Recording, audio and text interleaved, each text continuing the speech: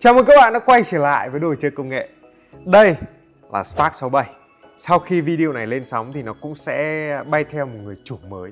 Bạn ấy chuyển khoản cho mình xong rồi, Mà mình ờ, kêu bạn ấy là thôi để mình quay xong video đã, Rồi có gì mình gửi cho. Spark 67 Đấy. Mình khá bất ngờ khi mà cái con này được rất nhiều anh em cứ khen bảo là ủi gõ ngon lắm, Gõ con này xong là sẽ nêm tác hết những cái con còn lại tầm loanh quanh dưới 10 triệu thì ban đầu mình không tin lắm đâu tại vì những cái gì mà bị kiểu hai quá như thế thì mình cảm thấy là nó cứ hơi bị gì đấy nó ghê gớm quá. Nhưng mà ví dụ tầm hai ba người nói như vậy thì chấp nhận nhưng mà đây tới hai ba mươi người thì nó lại là câu chuyện khác các bạn. Và mình cũng tò mò mình mua thử một con cho dù cái giá mình mua thì cũng hơi cao một tí.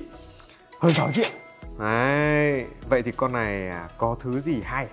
Và gõ nó vì sao nhiều người lại khen ngon như thế? Thì ok và đây trải nghiệm nha À, đầu tiên thì mình chưa muốn nói về cái mạch này vội đâu mà mình sẽ muốn nói về cái thiết kế của cái phần cây tại vì nó sẽ là cái yếu tố mà rất nhiều người sẽ quan tâm đến. Thì cái điều đầu tiên mình đặc biệt yêu thích ấy, đấy là cái thiết kế cây của này là thiết kế dấu ốc. Khoan dừng khoảng chừng là hai giây. Sorry các bạn ngược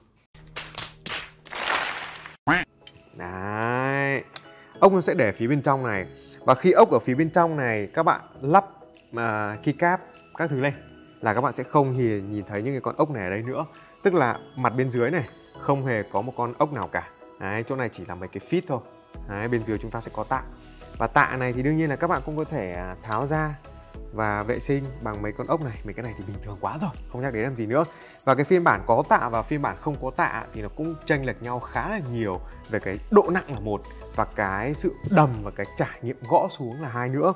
Thêm nữa là con này cơ bản là cũng có khá đầy đủ những cái phụ kiện kèm theo. Ví dụ như là cái này là một cái form case này cái này là poron à, cá nhân mình đánh giá thì bạn nào thích thì có thể lắp còn không thì thôi bỏ đi. Cá nhân mình thì mình thích là cái xu hướng đấy là mình lấp đầy những khoảng trống. Đấy thế nên là mình lắp hết vào đây. Và bên trong này chúng ta cũng có thêm một cái form poron của cái phần PCB nữa. Nói chung là toàn toàn poron cả thôi cũng không có điều gì phải thắc mắc làm gì nhiều. Thêm nữa các bạn để ý thấy nhé chúng ta sẽ có những cái g nhỏ này. Đó trên này. Đấy đây là thiết kế của một con bàn phím. Theo như mình được biết giá GB lúc ngày xưa chỉ có khoảng gần 5 triệu thôi. Đấy, mà chúng ta đã có một cái thiết kế như thế. Vậy nên khi mà các bạn lắp xuống một cái Là không bao giờ các bạn lo cái vị trí này đã vào đúng hay là chưa. Không bao giờ các bạn cảm thấy nó bị cấn cấn một chút xíu nào cả. Và thực sự cái vấn đề gọi là hoàn thiện cái case của cái Spark 67 này khiến mình rất là bất ngờ luôn. Tại vì nó ngon Và mình không phải suy nghĩ gì quá nhiều. Ngoài cái việc đấy là lắp hết những thứ mà nó trang bị. Xong. Ok luôn thậm chí có nhiều anh em mà chia sẻ con này mà tháo hết bỏ cái form ra ví dụ tháo bây giờ bỏ form cây này tháo luôn cái form PCB này gõ nó vẫn ngon. Nhưng mình thì mình không không có thử cái đấy nên mình cũng không biết là nó ngon đến đâu nhưng mà đúng thật là con này có nhiều cái hay lắm các bạn. Thiết kế của con này là gasket mount và các bạn để thấy cũng là gasket mount poron ở đây. Đó, và mình à, dán cái miếng poron này lên trên cái phần case để cho cái phần à, PCB này của chúng ta nó được flex hơn một chút xíu ở cái phần à, plate nhôm thì plate nhôm của con này là có flex cut thế nhưng mà cái phần PCB này của chúng ta lại tới 1,6 mm thế nên cái flex cut nó có như không. Nhiều anh em mà thích nhún ấy, thì anh em có thể lựa chọn cái Spark 67 này cái phiên bản PCB là 1,2 mm và sử dụng cái P cái plate đó là plate PC là plate nhựa ấy, thì cái độ nhún của nó sẽ nhiều hơn và gõ nó mềm hơn. Mình thì mình thuộc gu à, tim gõ cứng nên là thậm chí mình còn thích cả plate đồng hơn cơ. Linear nhưng vẫn phải là cứng nha các bạn nhé. Gu của mình nó lạ thế cơ nên là con này nói chung là cũng hơi khác gu của mình một chút xíu thì ok. Có chăng á cái mà nhiều anh em phải suy nghĩ nhất đấy là có con này nó dễ xước cái phần à, uh, top case quá. Đây cái chỗ này một vài chỗ này hơi bị xước nhẹ này. Đó là bởi vì cái việc mà các bạn tháo ra tháo vào á, thì cái phần ốc vít này này thì nó có thể chạm vào góc này và dẫn đến việc nó bị xước. Thế nên lời khuyên của mình là các bạn hãy sử dụng những cái tool kèm theo. À, cái này là tool kèm theo này để các bạn xoay ở đây. Thì nó sẽ đỡ hơn nhưng mà nói thật với các bạn là khó tránh lắm. Tại vì cái này nó là màu trắng và nó theo như mình được biết cái này là e-coating EY cái lớp coating phủ một lớp màu trắng bên ngoài nên là nói chung là cũng cũng, cũng hơi khác cái nhôm anode một chút xíu. Nên là các bạn cũng cần đối nha. Ok rồi thì cái phần case nó là như vậy. À thêm nữa này các bạn thấy nhôm này nó dày đấy. Nguyên cái này là một khối luôn. Dày vãi đạn. Nói chung là chất lượng. Phải nói một điều là nhìn vào con này phát từ cái thiết kế phần case đã là rất là ưng ý rồi các bạn. Rồi. Bây giờ sẽ đến với cái phần PCB là cái phần mà nhiều anh quan tâm nhất. Thì à, mình đã xem ở đây là thứ nhất á, là Marshmallow. Đấy, loop phim. Cái này thì hôm trước mà trên con Space 80 thì mình cũng có chia sẻ rồi. Thêm nữa cái stab ở đây là mình đang sử dụng stab cherry. Đương nhiên là cũng hole mode và mode lại hết rồi. À, tuy nhiên cái phần à, thanh space này thì bạn nào mà xem cái livestream của mình á thì cũng biết là mình sử dụng cái uh, y là y olap và housing và stem thì nó là cherry và cũng ờ, uh, hole các thứ đầy đủ hết rồi. Đấy, nên là lát nữa mình sẽ nói đến sau. Và cái space thì luôn luôn sẽ là con switch chân ái của mình Đấy là Porcelain Blue. Đấy, khi em nhớ viết text lên nhé Để bạn nào hỏi biết nó là cái gì. Mua thì hơi khó một chút xíu nhưng mà Nói chung là con này là một trong những con gắn vào space mình rất là ưng ý. Từ cái việc stem chắc chắn hay là cái hành trình của nó là 3,25mm ấy, Nên là cái stem của nó rất là dài. Đấy, nên là gõ xuống ấy, cái tiếng này nó sẽ bớt tầm out trước khi cái cái cái cái stem của staff nó đập xuống phía bên dưới. Nên là nhiều anh em mà không thích cái tiếng của staff ấy, cũng có thể lưu ý con này để mà lựa chọn, nhá. Cái này thì mình không có lót form, các bạn thấy không? Không có lót form để cho tiếng nó vang vang một chút xíu. Mà ảo lắm, con này cũng không hề bị vang thế mới hay chứ. Kinh không? Rồi, tiếp theo thì bên trong con này cũng đã được tặng kèm sẵn một cái form à, PCB à, Poron nếu mình lắp vào cái là xong thôi. Và các bạn để thấy đúng không? Con này không hề có ốc stenop ừ, không hề có ốc stenop cho dù cái phiên bản plate mình đang dùng ở đây là plate nhôm uh, ờ, cái plate PC ấy, là plate nhựa thì nó lại có một vài những cái ngàm stand up các bạn nhé để cho nó giữ được cái phần switch nó tốt hơn ấy. Nhưng mình sử dụng nhôm thì không cần. Và phải nói một điều là cái socket hot swap con này thì uh, nó là C uh, đúng rồi nó là C y ngắn y dài rất là giống con Tether 68 ấy các bạn. Nhưng mà nó lại nó, nó, nó bám vẫn rất là chặt. Hay là các bạn vẫn cứ phải nói là yên tâm về cái độ giữ switch như thế nào. Đây các bạn thấy không? Hề có ốc stand off nhá nhưng mà plate nó giữ switch rất là xịn. Lại thêm cái phần ngàm của cái phần PCB này giữ switch cũng rất là ok nữa. Nên là mọi thứ vẫn đều rất là chắc chắn. Con này thì sử dụng cái VR để mà keymat à, tuy nhiên thì nó sẽ cần phải có một cái file JSON chứ nó không có cắm vào VR là nhận được ngay mình không hiểu lý do vì sao, nhưng mà thôi, kệ, cái đấy cũng là một cái nhỏ nhỏ thôi, nó cũng không có vấn đề gì quá nhiều. Rồi, yếu tố tiếp theo là cái phần cổng tai C này. Nó là cái cổng gắn liền trên cái, trên trên cái mạch PCB thế nên nếu như mà gắn vào trong cái cái case này này, mà nó có cái độ nhún nhiều nhún nhiều, thì cái phần à, không gian để mà cho cái cổng C này nhún lên, nhún xuống nó cũng sẽ không có. Nên là lời khuyên của mình đó là các bạn cũng nên, không nên không nên chơi mấy cái thể loại mà nhún nhiều quá tại vì nó có thể cũng sẽ ảnh hưởng đến cái cổng tai xì ở đây. Và cái plate này của chúng ta cũng sẽ có những cái đường cắt này rất là hay này. Đó các bạn thấy không? Đó, để mà nó đi vào trong cái phần khuôn kia và nó sẽ à, có cái thiết kế dấu ốc đấy các bạn. Rất là ok. Rồi cái cảm nhận của mình nhé khi mà ớt xem với cả con uh, con con uh, kẹo dẻo này marshmallow này đấy là cái cảm giác gõ trên nó nó cực kỳ đều tiếng. Row nào cũng rất là đều tiếng và cái cảm giác gõ nó phản hồi lại cái đầu ngón tay nó rất là mềm mại. À, với cái gu cứng như mình á thì khi mà mình gõ xuống kể cả là linear hay thứ gì đó thì mình vẫn mong muốn là khi mà cái bên dưới này là cứng này thì khi mà mình gõ xuống nó sẽ có một cái lực phản hồi lại cái đầu ngón tay của mình thì nó sẽ có cảm giác thật hơn và mình gõ nó sẽ phê hơn. Còn cái kiểu của con này đấy là khi mà mình gõ xuống á đấy cái sự mềm mại của cái con này á nó đã triệt tiêu đi một phần nào đó cái rung động rộ lại đầu ngón tay. Nên đối với nhiều anh em khi mà sử dụng cái plate PC trên con này sẽ cảm nhận thấy là nó mềm hơn. Đấy, nên là gu của mỗi người là khác nhau nên là cá nhân mình đánh giá thì nó cũng vẫn là một cái thứ gì đấy rất là hay. Và gõ con này thực sự là mình cảm thấy rất là thoải mái.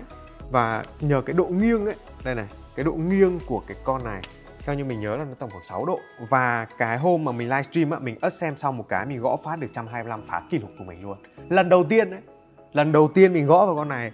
Tức là các bạn có cảm giác kiểu cái độ nghiêng của nó là vừa phải và cái cảm giác gõ trên này nó rất là thoải mái. Đấy, cái cảm giác này mình khó để giải thích lắm nhưng mà đấy nó là như vậy và gõ nó thực sự cực kỳ tuyệt vời luôn.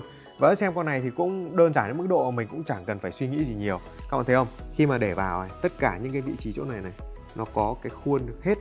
Đó bên trên bên dưới thì cũng thế. Sau đó mình đặt vào. Lắp bọc lại. Thế là xong ok lắp ốc vào nhá rồi mình chia sẻ tiếp. A few moments later. Đấy, đây, lắp xong này như thế này thôi. Các bạn thấy không? Không hề thấy con ốc nào nữa cả. Đẹp vãi trường luôn. Mà gõ. Đấy, rồi. Bây giờ thì các bạn thấy là mình chưa lắp mấy cái stab đúng không? Bây giờ mình sẽ khoe cái stab cherry Sau khi mình mốt nó sẽ như thế nào. Thì à, bạn nào mà xem cái livestream của mình là cũng biết là mình mốt con này nói chung là hơi bị uy tín rồi đấy space backspace này. Anh em đừng thắc mắc là tại sao âm nó tịt thế. Kẹo dẻo chỉ thế thôi.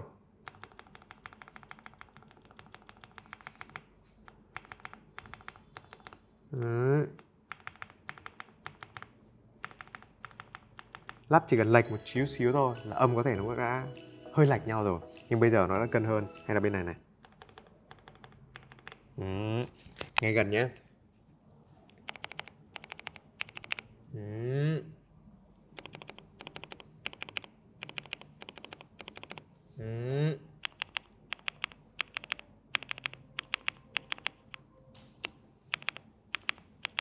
Ừ. Rồi, giờ đến phím Space Thì các bạn cũng biết là mình auto lắp ngược rồi Và cái Space này là Space của một set CMK clone đấy Chứ không là Space của cái set EPBT Orin on White này đâu Tại mình không hiểu lý do vì sao mình lắp cái set của cái con này vào Nó cứ bị sao sao ấy. Khó hiểu lắm. Bây giờ là Space này.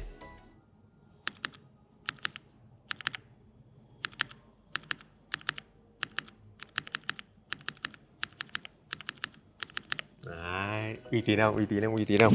Thì đây, như mình đã vừa nãy nói Các bạn thấy cái độ dốc của nó, nó vừa phải. Đấy, và kết hợp với một cái profile rất là thấp như là Cherry ấy các bạn thấy cái cảm giác gõ trên nó nó, nó, nó rất là thoải mái và dễ chịu khi mà đấy, quay từ bên này qua này. Đó các bạn thấy không? Khi mình để tay gõ xuống này nó rất là thoải mái. Đó. thế nên mình cá như mình đánh giá là với cái kiểu độ nghiêng vừa phải như này nó sẽ hợp với những cái profile mà nó thấp thấp kiểu như là mấy con uh, cherry hay là kiểu DCS các thứ. Còn mình cũng có thấy nhiều anh em mà gắn vào đây mấy con cây cáp theo kiểu dạng SA rất là cao. Thì thì không biết các bạn thấy sao chứ cá nhân mình đánh giá thì cherry is the best đối với bản thân mình. Mình cũng có thử gõ thử DCS các thứ rồi nhưng mà kiểu cái gì mà nó quen á thì cherry nó vẫn là cái thứ gì đấy nó quá quen thuộc đối với tay của mình. Cảm giác như thế nên là đây các bạn thấy không? À, tuy là cái cây cáp màu trắng nó không hợp với cả cái cây trắng lắm nhưng mà nhìn nó cũng đâu ra đấy mà. Đấy, hợp lý không?